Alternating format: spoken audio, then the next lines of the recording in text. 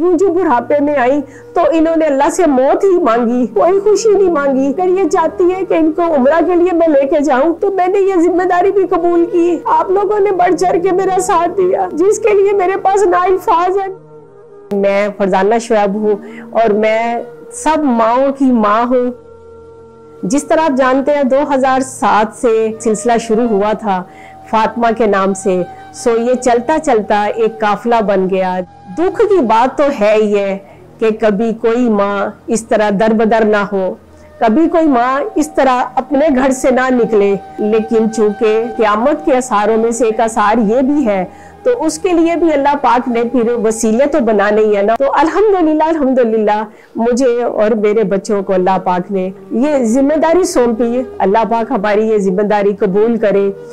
और फिर उसके साथ साथ इनको, माओ को खुशियाँ देने के लिए हमें अल्लाह पाक ने नए नए जिम्मेदारियाँ सौंपी, जिनमें उम्र का सिलसिला भी शुरू हुआ।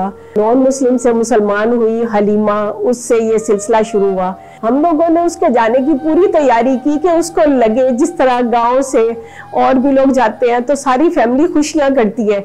हम लोगों ने भी फातिमा की खुशी की। हमने पूरा मिलाद करवाया, पूरी तैयारी की, लोगों को बुलाया। हलीमा की खुशी के लिए कि ये अल्लाह के घर जा रही है, क्योंकि उसको बहुत शौक था। बस वो खुशी देख के दूसरी औरतों ने कहा कि क्या कभी हम भी जाएँगे?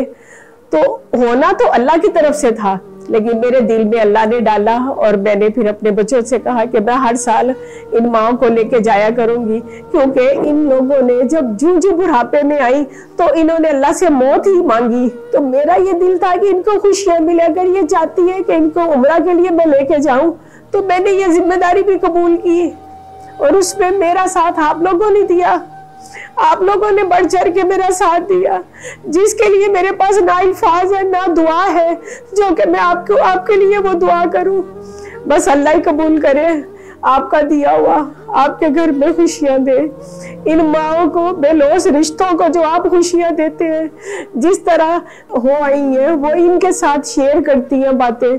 वहाँ की एक एक जगह की एक एक बात एक एक रात की एक एक पल की खुशियाँ इनके साथ शेयर करती हैं तो इनका और दिल खुश होता है कि हम लोग भी जा रहे हैं। अल्लाह पाक सबको तो फीक दे।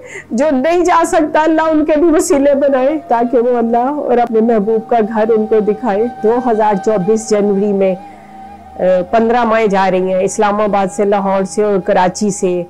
ये पंद्रह माएँ इनकी तैयारी है। अल्लाह पाक इनको ज़िंदगी दे, ताकि जो खुशियाँ इनको अल्लाह पाक दे रहा है, अल्लाह पाक इनकी ज़िंदगी में ये खुशियाँ इनको मिल जाएँ।